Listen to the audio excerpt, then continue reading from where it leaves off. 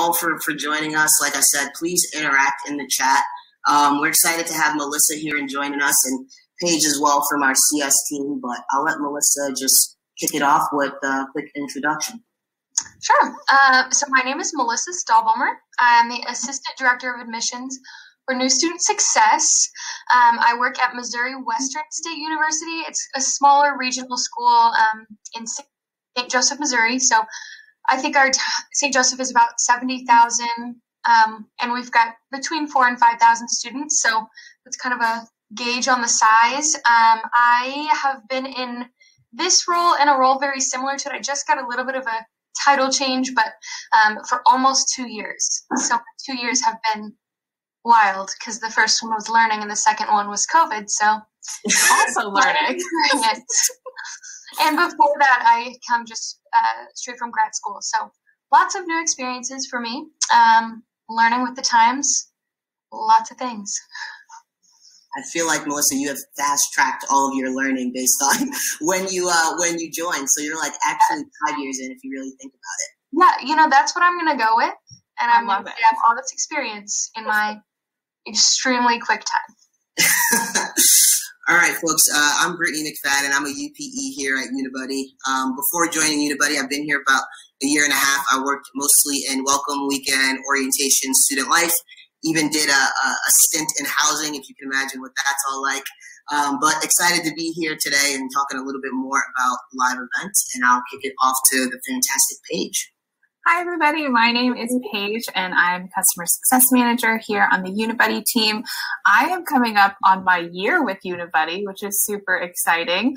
Um, but before that, I worked in higher education as well, just like Britt. Uh, I worked at both UC Davis, which I mentioned earlier, was my alma mater, um, and I worked at Willamette University, which is a small uh, liberal arts college in Salem, Oregon. At both of those institutions, I managed ambassador programs, so that's part of the reason why I'm I'm super excited to be here with Melissa to chat with you all about managing your student ambassadors, working with them for virtual events, and all of that good stuff. Um, and I do work with a good variety of our partners here at Unibuddy. Um, so I'm very excited to tell you a little bit about what they're doing. Excellent. So in terms of uh, agenda, um, we just did the, the kind of introductions. We'll walk you through kind of just overall marketing insights that we see as it relates to peer-to-peer and ambassador programs and Unibuddy as well. Um, the state of virtual events in 2021, they're not going anywhere. I don't think anytime soon. So always want to learn a little bit more about that and how our partners have, you know, the impact that our partners have seen from implementing student voice, aka their current students. And then from there, we'd love to just have any questions, quick Q&A for Melissa, for Paige, who works with a bunch of our partners. Um, feel free to ask us any questions. So uh, research, and you know, I feel like we, we all know this, how important it is for students to interact with current students. Melissa, as much as you know about Missouri Western, students don't necessarily always want to hear from you, right? They want to know someone who's actually in their shoes and that makes a huge difference in terms of their sense of belonging and how that builds confidence. So we know most students are using social media, are looking at your Instagram, looking at your website in addition to see how can I interact with your current students. And ultimately, they need that reassurance, especially these times. They might not be able to come to campus or it's just a different world out there for them. So for them to get that reassurance from the people that are currently in the shoes they will be in makes a huge difference. And we're seeing that with Unibuddy and we're seeing that with our current partners day to day.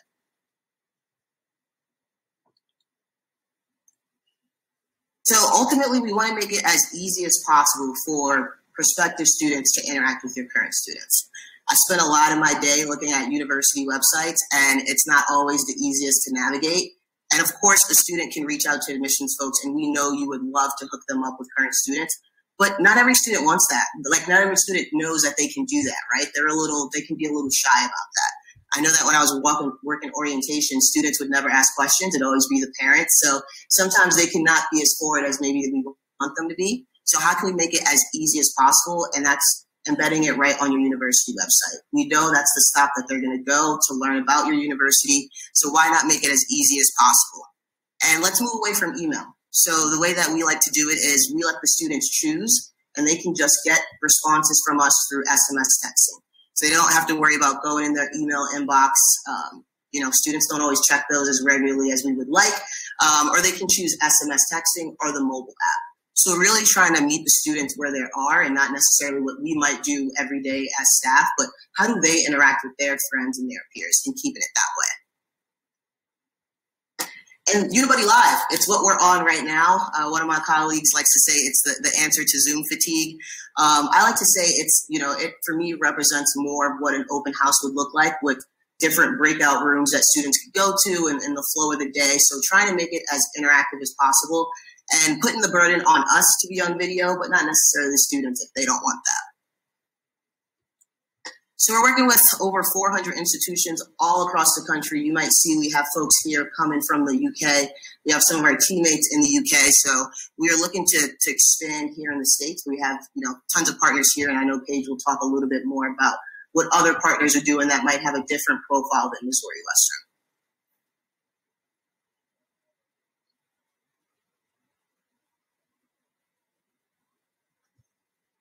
So I'll stop sharing my screen because we're just going to jump into some questions. And as I said, just feel free to ask us any questions as we move along. But Melissa, can you tell us how you got started with Unibuddy? You have one of the quickest turnarounds in like our company history. So so walk us through it. Walk us through that timeline and you know how you got launched and everything.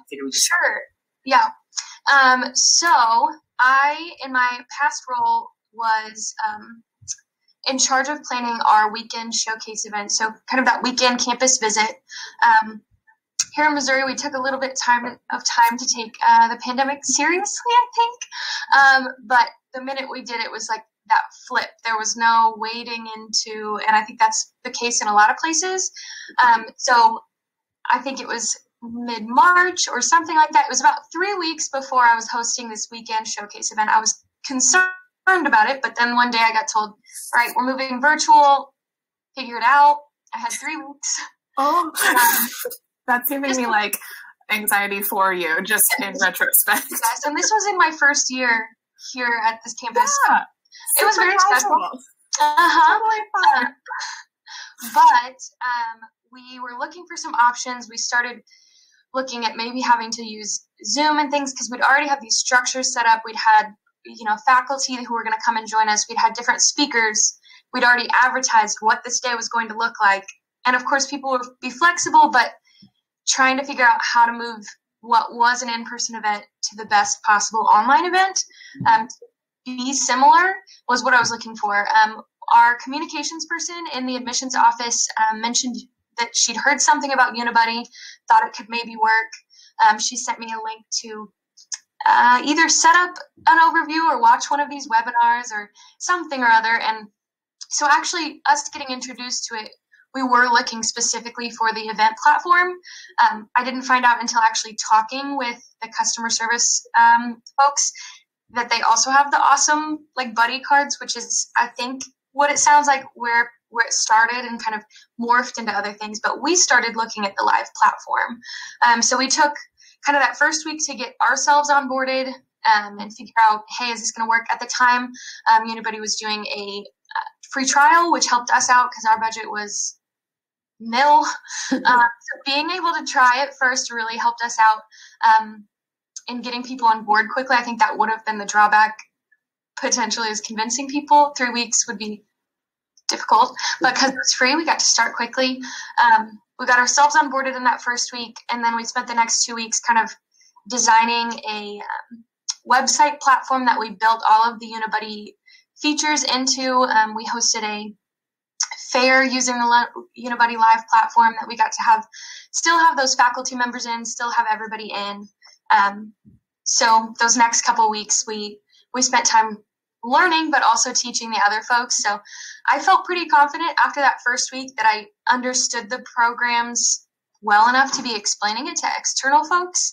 Um, I think because of the times we were in, people were still pretty confused and unsure. But um, we spent those two weeks kind of training, setting up that website, and it I went went over pretty well. Even that first event, um, we've used it a lot since then. But that first one, there weren't any huge hiccups, which was amazing. Um, I was so stressed for it, and it just it went over really smoothly. So, low attendance compared to the 200 people who signed up for the showcase when it moved online, but we still had probably 40 people in that first one, I think. So for switching to an online and saying, hey, still come, even though the world is chaos, mm-hmm. worked out pretty well. All things considered, I would say so. Yes. So I know you talked about kind of training yourself and other staff. Talk to me about the ambassadors and their training. And did you already have a well-established ambassador program? Where you was this something completely new and foreign to them? This kind of chatting and live events. Right. through that part. Um, so we have a ambassador program for our um, campus tour guides, um, and they're kind of a lot of them hold different roles within our admissions office, so they're familiar with talking with students in various capacities, not just the tours. Um, but we did have that tour program already established. We were already kind of worrying because we um, we pay our ambassadors with scholarships. Um, so we'd already given these scholarships. We're panicking, going, we can't take this money away from these students, but they've got a half a semester left what are we going to do with them? And this was the great answer for that. Um, we were able to take what they've learned in giving tours and what they've learned in all of our trainings to really easily switch them over to also doing this virtual platform and we've kept that throughout um, even though we do have small tours back on campus um, they're still doing the unibuddy things they're still helping with our uh, weekend campus visits and just instead of giving those tours specifically, they're also answering these questions. So um, we were able to get a online training set up with them really quickly, um, and it it walked them through it. They all seemed to catch on really, really quickly. Um, I think it was great that Unibuddy offered that time for the students to join on in a conversation. They got to ask the questions. It wasn't me asking questions and having to train and figure out how to explain to these students whenever I was unsure, um, all the students got to ask questions straight to Unibuddy, and I think that helped a lot. Um, I recorded that, or I was provided the recording, and I got to use that um, for any time we onboarded new students. And I think everyone has typically been pretty easy to use it. They they miss messages every once in a while. That's probably the only concern, but um, since I can see those on the back end, I get to remind them, and that's really the only hiccup I've ever seen with the students. They caught on way quicker than the faculty and staff that we had help. That does not surprise me. Yeah, that doesn't surprise me at all. No, not at all. That's pretty true across a lot of platforms. yeah. I think, did you have a question uh, for Melissa from the CS side of things? Um, so I actually just wanted to tag on a little bit of information about the way that we see other universities doing their ambassador programs too, because I think it's really cool that you mentioned that you have scholarships for your student ambassadors. That's a super creative way to kind of figure out how to incentivize your students and things like that. But the great thing from at least the CS perspective is that we can kind of see the full gambit of the way that, you know, universities incentivize and you know thank their ambassadors for helping out on the platform. So we do have partners that utilize a volunteer ambassador kind of plan and that is fantastic. It can work really well especially when you set strong expectations at the start so that the students understand kind of what they're getting themselves into what you want from them and all of that good stuff. Uh, and then we also see universities that actually do pay their ambassadors by you know the hour or by the time that they spend on the platform too. So it's great because it's a super flexible way to be able to really understand you know how how you can help your ambassadors do what they do best, which is talk about your university and be big advocates for you at the end of the day. So it's awesome that we get to see that across the board. I'll touch on that too. Um, yeah. Primarily use our student ambassadors who have that scholarship already, um, but we did host. People loved the virtual platform so much that we hosted one uh, in collaboration with our international center. Um, and for that, we just found a couple students who were familiar with the center and they volunteered. I gave them same training. They were actually, uh, I think several of them were not even in the States. They were elsewhere because it was craziness. Um, and they were able to pick it up and still were on and were helpful. And we're really excited to be able to answer those questions and be involved in that way. So I definitely see the volunteer aspect working um, for different strategies for sure. Yeah, that's such a cool idea. I love bringing in other departments too. I think that's a really great way to kind of spice up your, you know, usual cast of characters that mm-hmm. you may put forward in a virtual event and allow, you know, different kind of opinions and thoughts to come into those events as well. That's a very like conscious and thoughtful thing to do. I love that. Yes, and I, I, wanted to ask. I know you said they, they, they loved Unibuddy Live, and you know we we use there's other web kind of streaming things that folks can use. So Melissa, on on your end, why Unibuddy Live versus a basic kind of live streaming or web streaming kind of platform?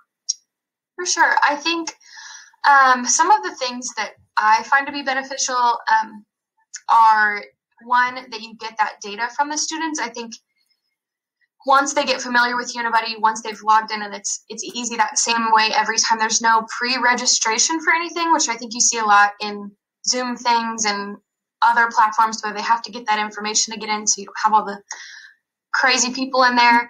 Um, being able to get all that data is really nice to be able to see who's logging on. Then they're already started with your platform, already started with Unibuddy. So then any of the other integrations, any of the, hey, do you want to keep chatting with these students who have been sharing their answers?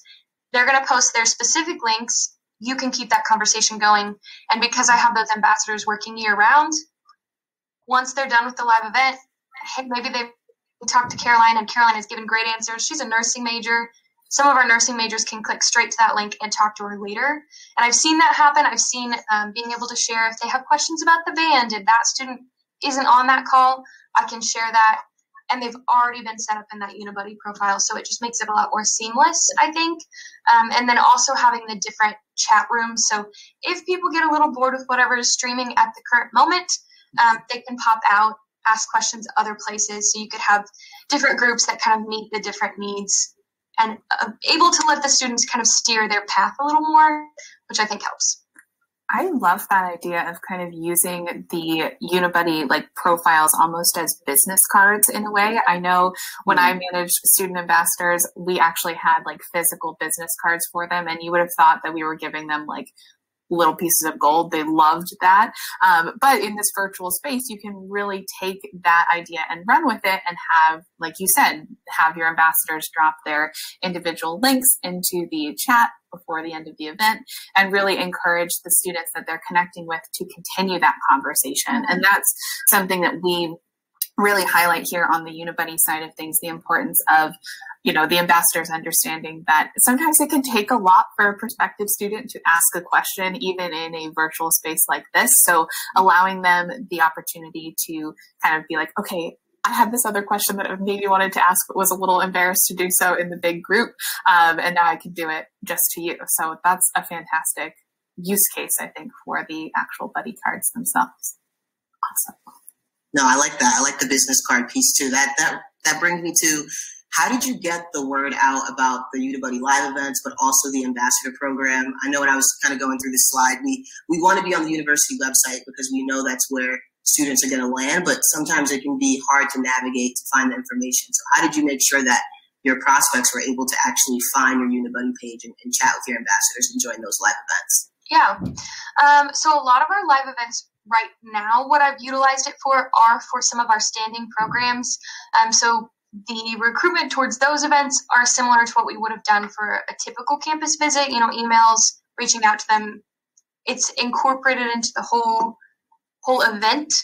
Um, and then we also ended up utilizing it for yielding students through our orientation events. We used it a ton through summer orientation events, still giving that orientation leader back and forth. So those were all kind of your regular getting the word out, typical processes. There's no real hoopla about trying to get people to come to an orientation.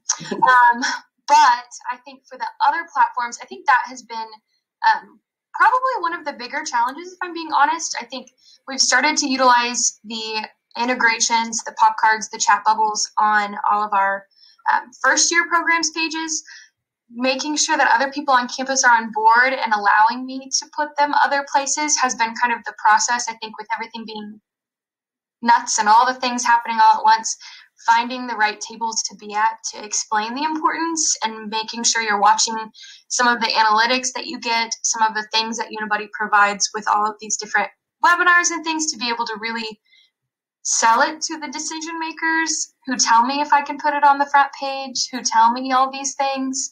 I think we've used utilized it in other ways, such as using those uh, individual student codes for their buddy cards during live events. Um, I've also created business cards that they hand out after a tour that have a QR code that send them to the whole buddy platform. So they kind of explain at the end of their tour, they say, hey, they write their name on it, hand it to them and go, hey, I had a great time on your tour. If you think of questions or if you want to talk to other ambassadors that maybe have your major or you have other questions that weren't things I could answer, here, check this out.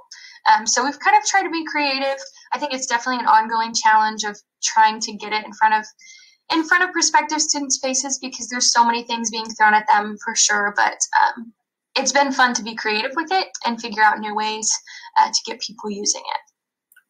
I love that idea of having just, you know, an actual physical business card too. Clearly I'm like hung up on business cards today. I just think maybe like I'm, but I just think that's so fun. It's such a nice way to have a tangible thing for mm-hmm. students who've been on a tour to be like, oh, right, I can actually go back and talk to this person again. And like Britt was saying, it's outside of an email. It's just like I'm texting my friend. So it's like not a big deal in terms right. of actually encouraging them to want to do that. Um, one other thing that I've seen a couple of our partners do really well is integrate Unibuddy into their Instagram accounts as well. So I know a lot of um, admissions offices will have, you know, their admission specific Instagram, and we have a few partners that will actually create a Unibuddy highlight on their like on their Instagram, um, which means that it's there for any student who goes back to take a look at it. Um, and they'll do the same thing that you do with those types of shareable links where they'll say, you know, hey, if if they have enough followers to do that like Instagram influencer swipe up thing, they'll link directly to um, to the platform. But sometimes it's like, here's the link for this student, and they'll video them giving a quick introduction to themselves, their major, um, their favorite thing about the institution, all of that good stuff, and then they'll just save it in the highlight there for um, anybody who comes by their Instagram, which is always cool. See, and here's the other great thing about Unibuddy is I'm currently writing that idea down. I feel like I'm always getting ideas. So I love it. This is like the idea factory right here. We're yeah. giving each other a lot of good good fodder to take to other partners as well. I think with with the campus visit and the, the ambassadors being able to hand out that card is, you know, some you're, you're taking a campus tour, you're taking in so much information that they might get home three hour drive and be like, oh, the, I have these seven questions that like are now coming to me now that I've mm-hmm. processed. And you know, they can be like, all right, Brittney was my tour guide. They gave me their business card. I'll just ask Brittney. They seem like that, you know, they were good. We were having this chit chat and this back and forth.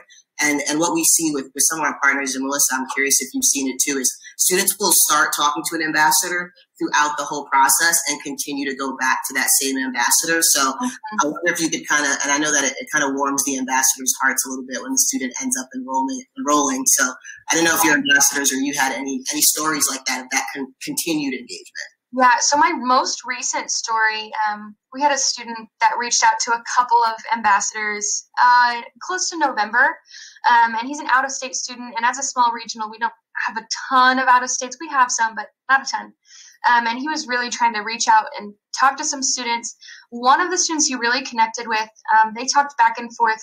I think it was like 23 messages between November and then all the way up till January. Um, that student was coming to visit in January, and because they kind of had that back and forth, um, the student was able to be in the admissions office when his tour came. So he was said hello. They got to like connect little bit it wasn't his official tour time, but he did get to say hi, and I think that that was really really impactful seeing the students be able to have that conversation that back and forth. He got to ask a lot of questions. The questions and answers kind of got longer and longer because they built up being okay with answering questions. I think that's definitely the coolest one i've i've noticed. I don't always notice because they have you know conversations are always going on but they'd mentioned that there was someone they were really hitting it off with and that's just awesome. They got to talk about all kinds of things. I think I haven't. That student is accepted, but we'll see if he comes. Um, I hope he will. I think that's an awesome, an awesome win story.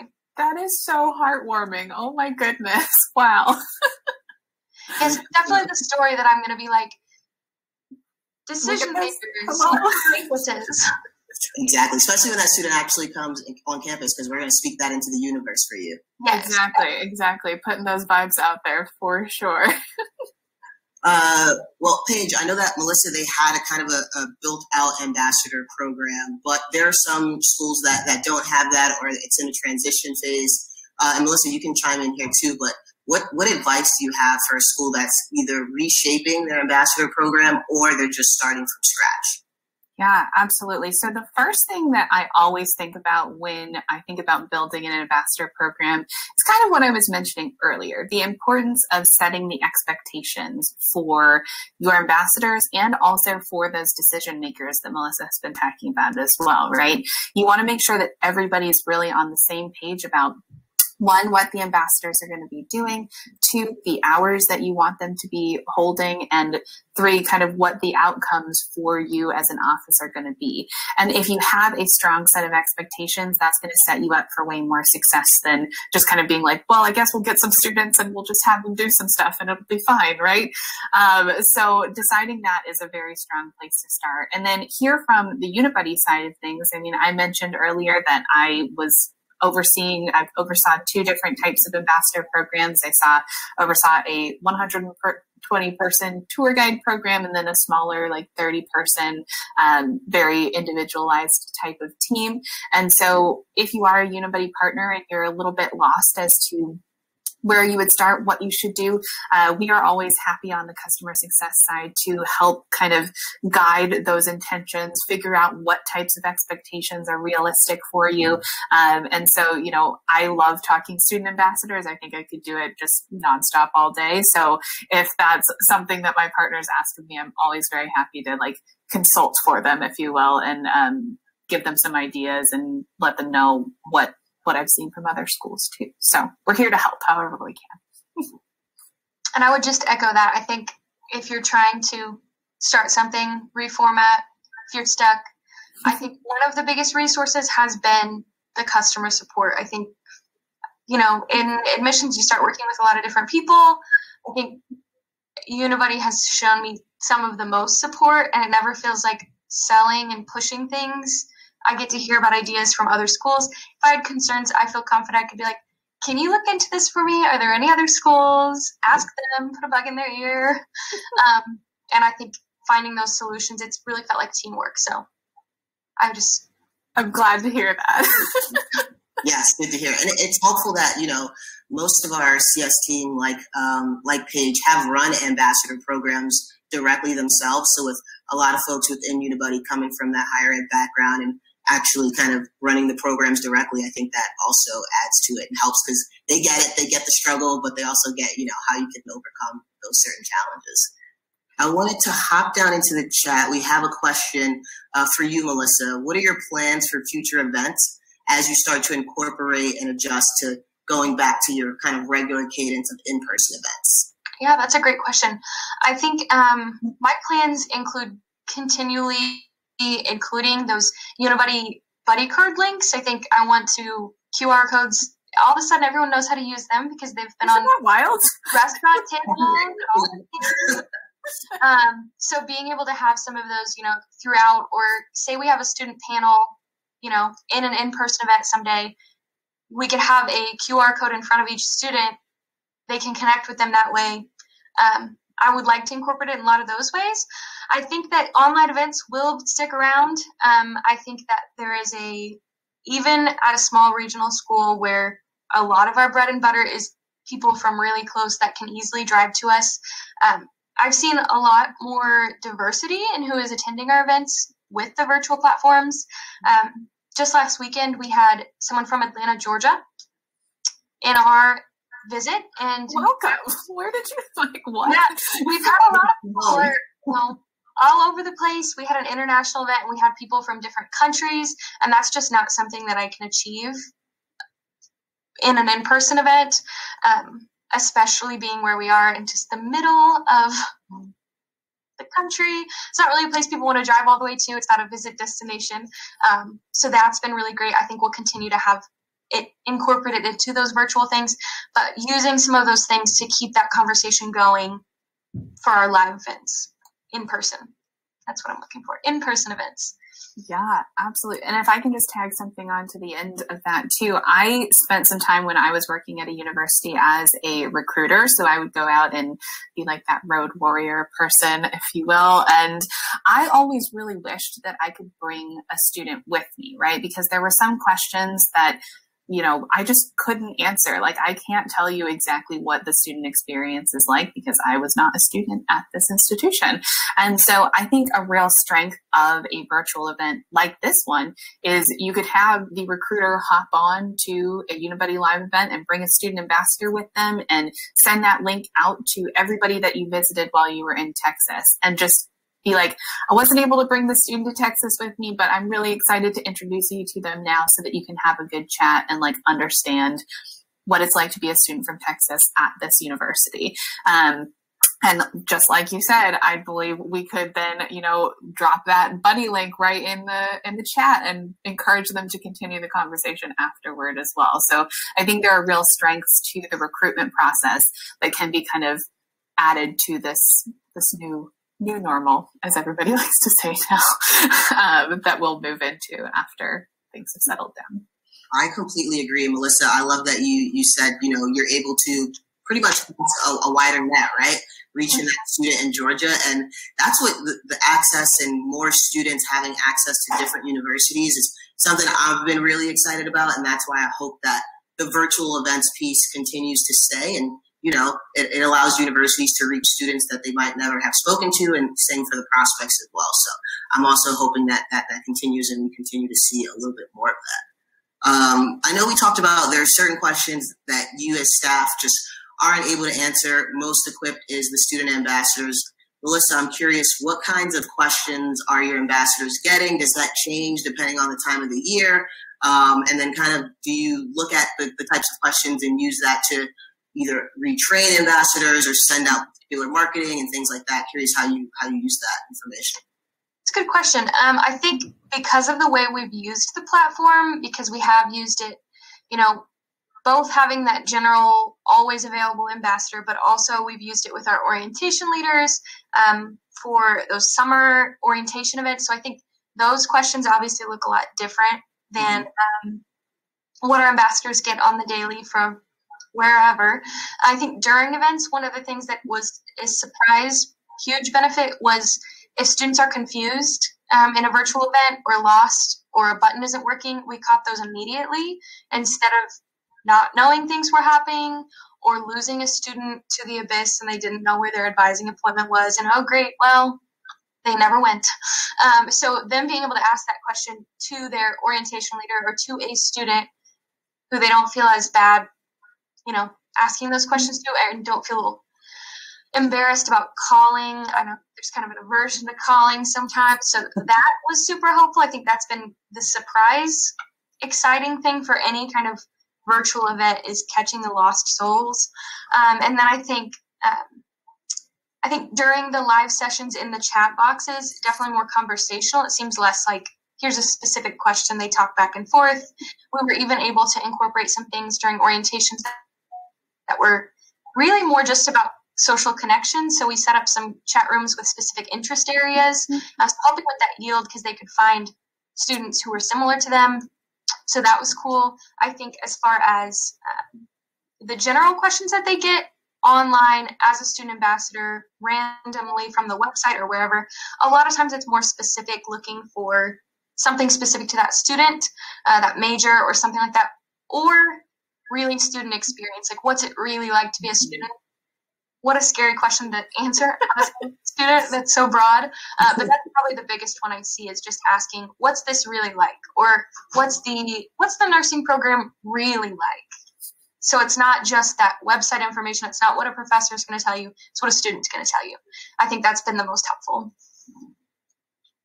Yeah, I think this generation is also very savvy, Melissa, exactly what you were saying in the sense that they know that sometimes, you know, the beautiful, shiny brochures that they get in the admissions office may not necessarily tell them the full story. And so they want to get the real information. They want to go to a student and be like, tell me legitimately, like, what are the professors like? Who's been your favorite and why? Yeah. And I think that's something that, you know, only a student can really answer that question because we as staff members have never sat in on that lecture. We can't tell you, you know, oh yeah, they're great.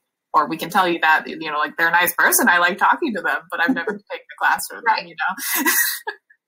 so I think that's very true. And one thing Britt, just to go back to the question that you initially asked, Melissa, I've seen a lot of institutions really kind of take a second right before yield season starts to re-up the training that they do with their ambassadors. So really encouraging, you know, maybe a like quick webinar with your student ambassadors to do like a Jeopardy style game where you just quiz them on the facts about campus that they should know or things that they need to be aware of, like with COVID protocols or anything like that, just so that you as the ambassador manager can be super confident um, that, you know, you're actually getting the information across correctly from your ambassadors because heaven knows sometimes I forget things. Nobody's an encyclopedia, so you just gotta re up that. I think that's smart based on decision makers too. If you're concerned about people being, that's one of the things I'm getting blocked up on is, oh, are they going to be able to answer all those questions right. that are from the website? I'm like, they do on the tour.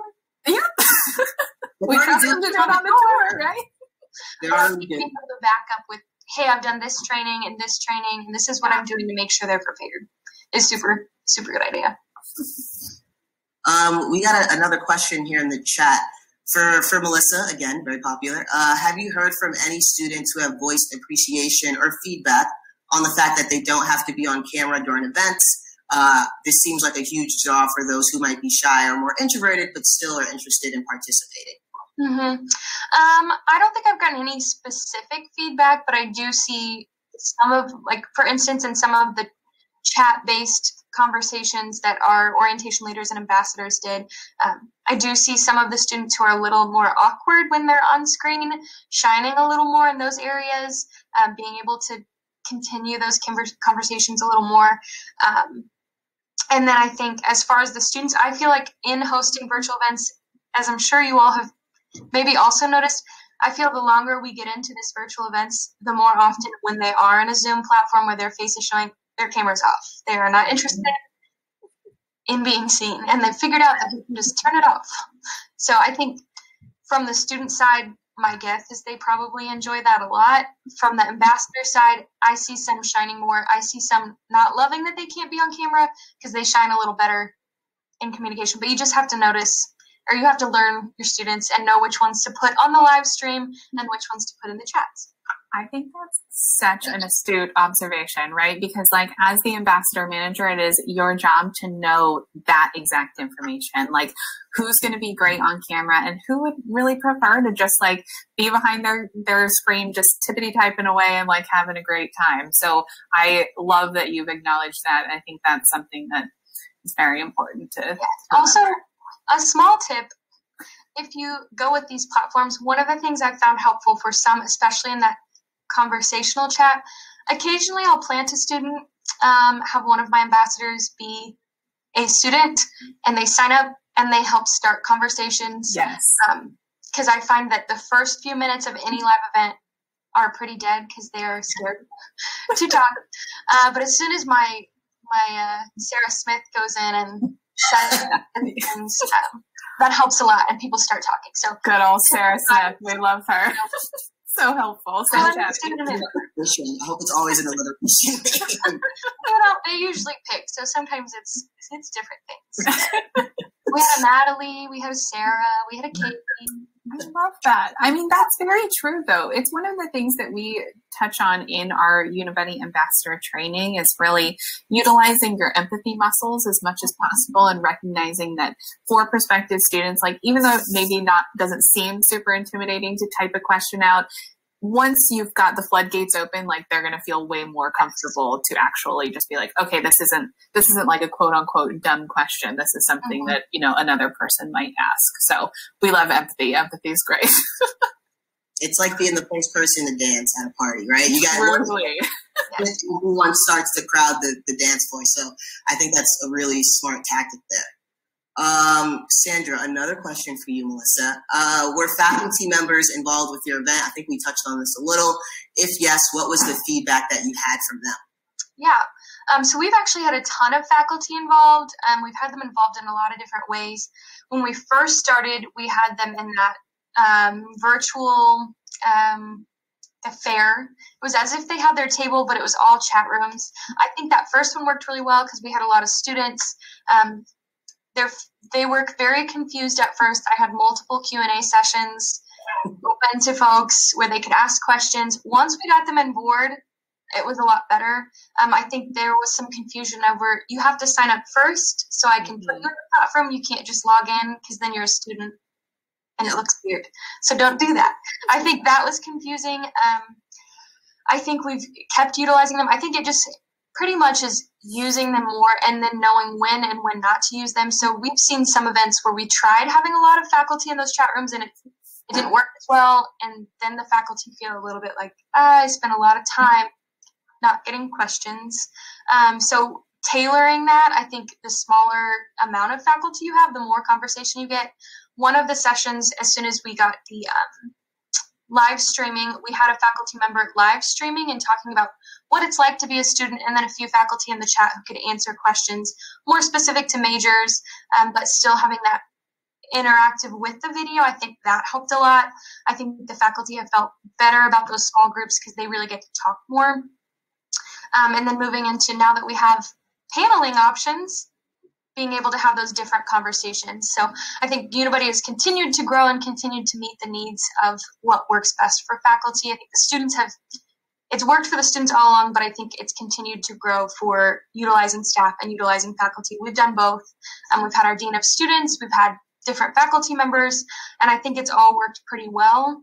People are getting more comfortable with the virtual things, and there's just more features every day to be using. So well, and I think what you touched on there is something that we see from a lot of partners where you just really want to be very intentional about encouraging the faculty members to practice, practice, practice before they come on to the platform. Because heaven knows if it's the first time you see it and you come on here and you're like, what the heck is going on? It's not going to be super great. And so, much like when I managed events at the universities I worked at, you know, we would have like briefing sessions before the event itself.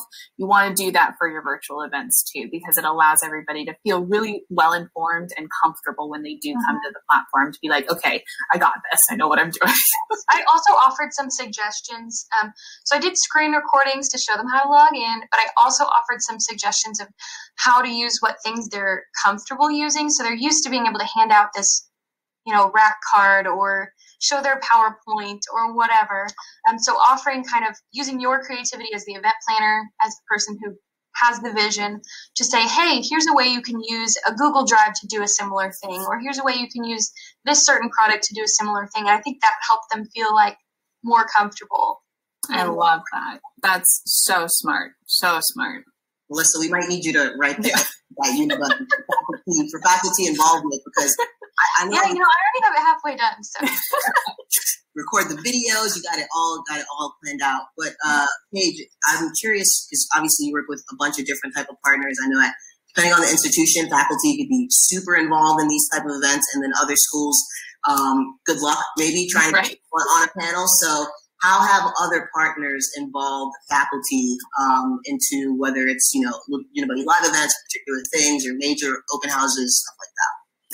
Yeah, I think the key is really being, as an event planner, keyed into the faculty members that you have on campus. Because I know that there are going to be those superstars that you know, like, oh, if I ask this faculty member to come in, they will smash it every single time.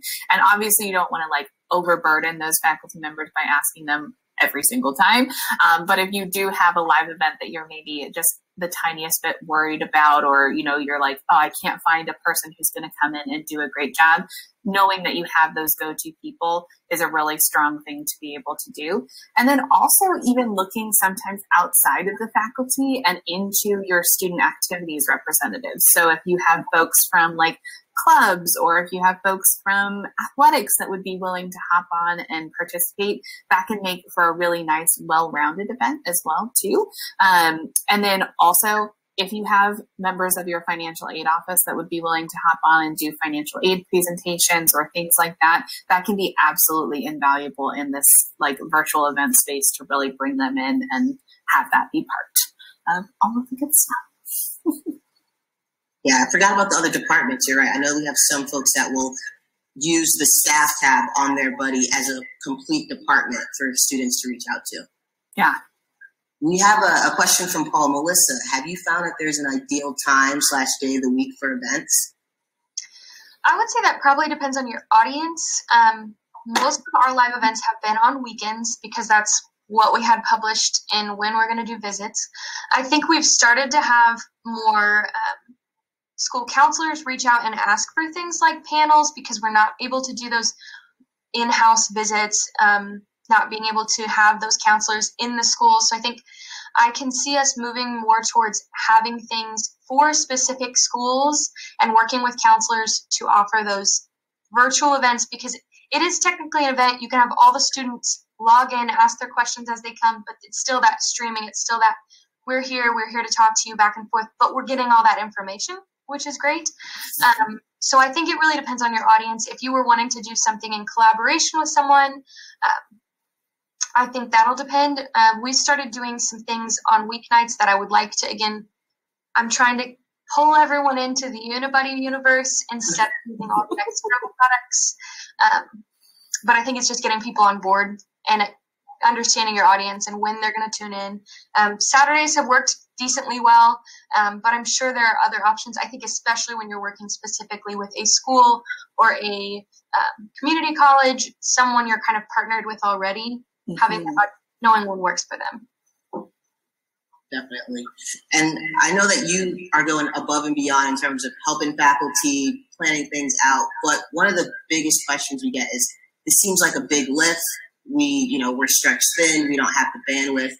How much time would you say you spend if it's easier for you to do it monthly or weekly, kind of on Unibuddy, working with it, making sure things are going smoothly? Yeah, I would say to operate it at a level that works and that is still a good resource is really hardly any time at all, except onboarding the students. Um, once you've got people onboarded, I think that that part is the bulk of your time. Mm-hmm. Uh, and then weekly, daily, I wouldn't say I even get on Unibuddy probably daily unless I'm informed of a problem. I'd say once a week I check in, look around at conversations, make sure there aren't any unanswered things. Um, if it's right after an event, maybe more. Setting up live events, it's like a breeze. Um, it's a form that you set up. Once you figure it out, it takes no time at all. You can copy past events. So if you have a template, kind of a setting that you want to use. Typically, if you want to have maybe each uh, academic area or academic college do their own, you can have that same template, copied over, really help them almost run their own event. You you probably have to be there to help um, set up the system, but being able to have them kind of have that same thing, it's really not a hard process because it is such a template based thing that they give you the tools to set it up easily. Um, I would say, with the caveat, I think the time that I you could spend more time to make it live to its fullest potential. I think that I love the creativity. I love getting to come up with ideas, but I would say our numbers are not where I want them to be. Our numbers are not where leadership wants them to be because you do need a little more time to be able to really see it flourish, I think, and incorporate it and convince people. But I think the day to day operations, apart from trying to grow it, are not difficult at all. It's a very simple process once you figured it out.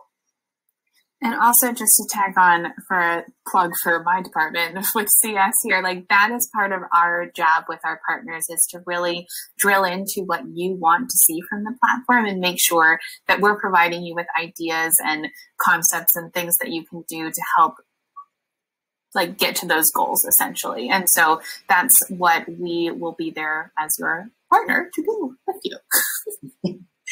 um, I want to be conscious of time and kind of looking to the future, plans for the future. I know if you're like me, I'm like, I can barely look past this month, um, but we're going to try for the sake of uh, today's um, live event. Uh, where do you see Unibuddy kind of sitting in 2021 for you all? What are kind of the plans for the future? I know you talked a little bit about those, but do you have kind of a, a wish list of things that you're looking to do differently or implement or tweak or anything like that? Yeah. I think um, if I had a wish list, it would definitely be hopefully with the world settling down slightly um, and being able to get some of those conversations I want to have, continuing to incorporate it into the areas I see it as valuable. I think being able to come to these webinars, being able to come to all the different things, seeing all the great things that are happening, I know how much value it can have. I think for 2021, I'd like to see my whole campus see what value it can have, um, introducing it to other partners, not just admissions, because I think it can be used across campus. I think if we had people from if we had student ambassadors from every single office that weren't the technical tour guides, but maybe they want to just talk about, hey, if you're a biology student, I want to talk to you about this. Um, I think being able to incorporate it all over the website, being able to offer those live events, to work with work with different departments, different areas to use the platform with my assistants to really make it excel. I think that's the biggest thing. I want to keep incorporating it into events, whether those are in person or not. I talked a little bit about that with the QR codes and things, but my biggest goal is to get people more on board, continue to just make it do what I know it can do uh, from my perspective and make it do it for more than just admissions.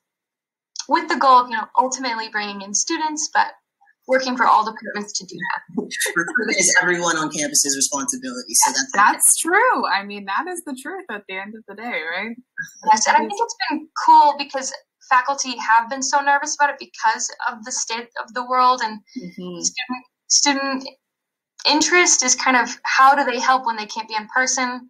How can they mm-hmm. help with recruiting? And this is a great tool to teach them to use to be able to they themselves help us. So. Mm-hmm. Yeah. Uh, I know we got five minutes left, so if you have questions, please pop them in the chat. But Paige, I want to talk to you because you talk to tons of our partners. What are folks doing to keep their virtual events engaging? I know for all of us, these are the most virtual events we all have been to in our lives.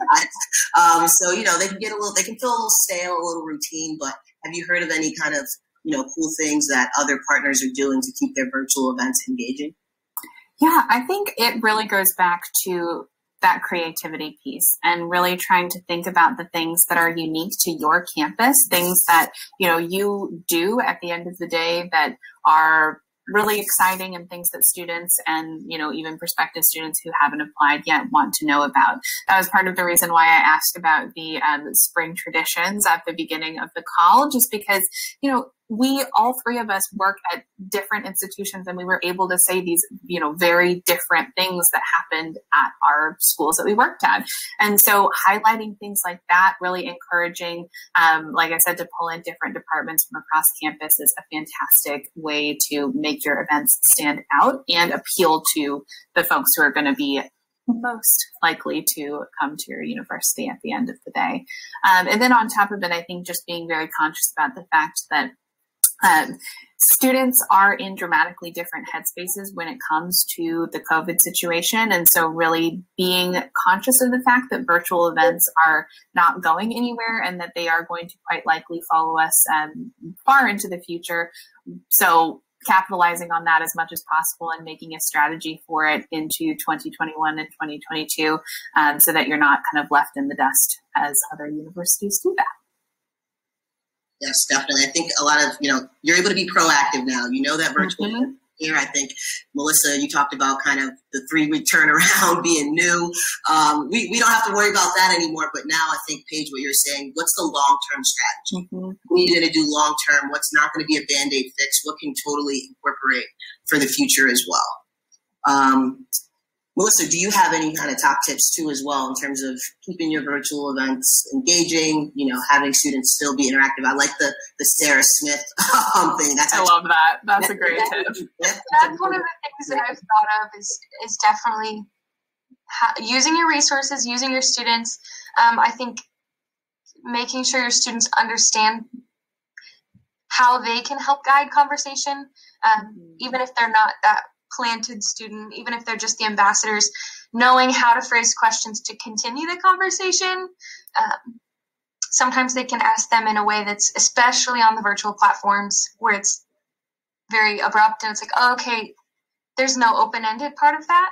Um, so I think making sure your student ambassadors and even your faculty, if you're using them a lot, faculty or staff, helping give them some tips on how do you continue those conversations? Because it's very easy to shut things off, a lot easier than in person to shut things off. So I think making sure they have that guidance, um, using your resources with your planted students, keeping things fresh. Um, I've changed, I think, every single weekend campus visit to a different strategy every time. That's more out of necessity, but it's been good to keep things fresh, to keep them moving. It never feels stale because it is new every time. So I think just keep being creative. And I think everybody knows that that's what we've got to do. But I think Unibuddy is a way to do that for sure. Awesome. Well, I think that's a perfect place to end right there. Um, Melissa, thank you so, so much for joining us. I hope uh, folks on the call took away some tips uh, from you, and uh, sounds like you wrote some stuff down as well, Melissa, that you learned. Um, so that's all good. Um, yes, thank you everyone for joining. If you have any other questions, if you're here on this, someone invited you in some type of email, so reach back out to that person if you have any questions, and uh, have a great rest of your Thursday, everybody.